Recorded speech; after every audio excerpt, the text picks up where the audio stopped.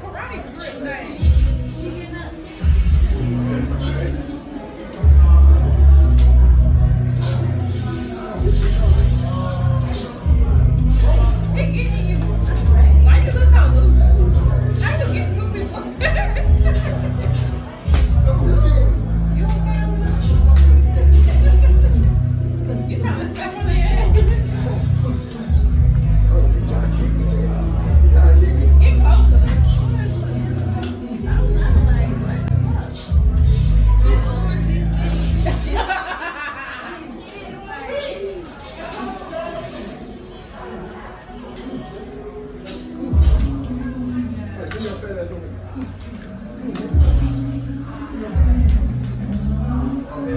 get him. Get him.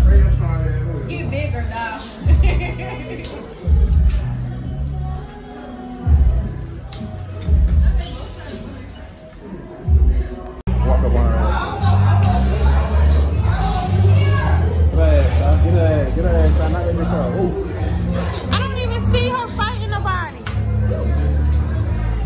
I'm sorry, getting active. Them niggas going over there. I'm sorry. But look, it's different from she. She's like, it's different from what's on the screen though. Beat their ass. It's, it like somebody getting active. That's all we need to hear. That's not fair to handle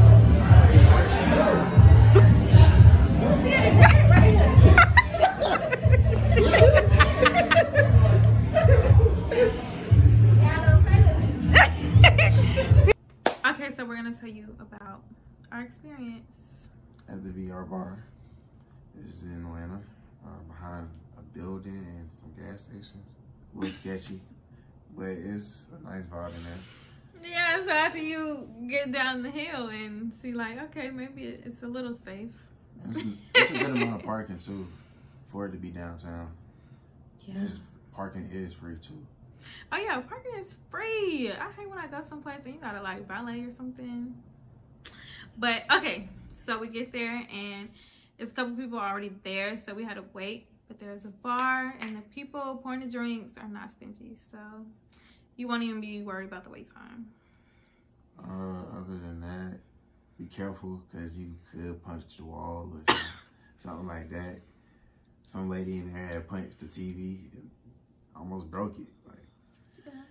But it was fun. They have different games you can play. So we played about three different games and we were there for an hour. So we didn't have much time, it felt like, but I don't know, it was fun, you know. Time flies when you're having fun. So definitely recommend it. I would go back. Um, outside of all that, oh, it is more than just one game to play, so you can play like four or five games. But oh yeah, gotta be 21 to even get in. So think about that before you go. But yeah, it was fun. Um, zero to ten, definitely like a like an eight Eight. because when we got to our room, the remote was not charged, so that kind of killed the vibe. Blew me, gonna but it was it was fun. Okay, see y'all in our next adventure.